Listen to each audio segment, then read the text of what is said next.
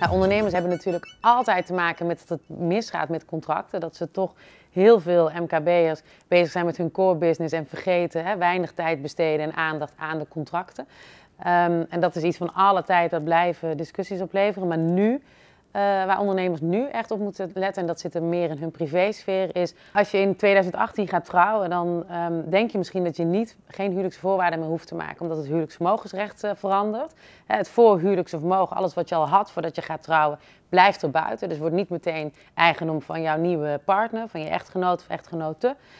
Uh, maar blijft daar buiten. Maar er zit een addertje onder het gras. Want als je een onderneming had voor die tijd, dan wordt er toch verwacht dat een bepaald rendement van die onderneming, een redelijke vergoeding, nou, wat die is, dat zal de tijd uh, moeten uitwijzen, dat je die toch aan je gemeenschap, dus in de boedel van jou en je echtgenoot, stopt en daaraan vergoedt.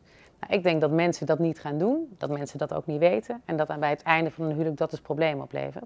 En dat kan je voorkomen door vooraf met een advocaat te gaan praten of met een notaris te praten en je, met je nieuwe partner of met je partner daar afspraken over te maken. Wat vind ik daarvan? Wat bedoel ik daarmee? En dan voorkom je daar echt grote problemen mee in de toekomst.